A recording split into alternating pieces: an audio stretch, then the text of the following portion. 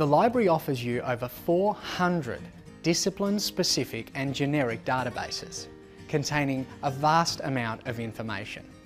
In this video, I will share with you some tips to assist your searching. These tips are generic and can be applied to most databases. Read the description of the relevant databases to select an appropriate one to search in. Begin with search terms you know, but be prepared to be flexible as your search terms may be different to what is contained in the database. Operators are a means of combining search terms to broaden or narrow search results.